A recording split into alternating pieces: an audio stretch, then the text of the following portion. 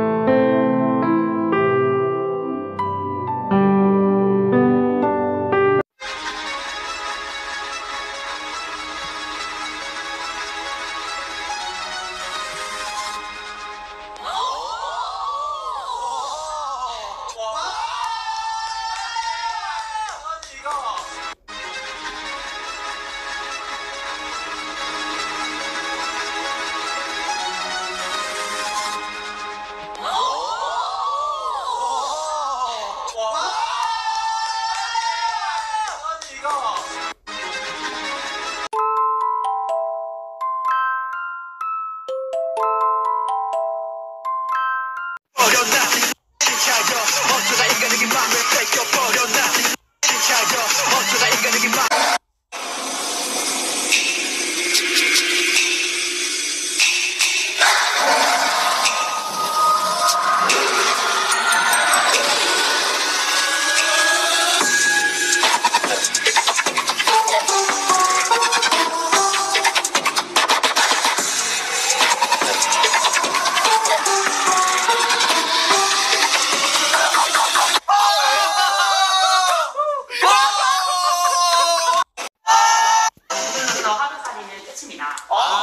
왜 저의 끝을 정해요?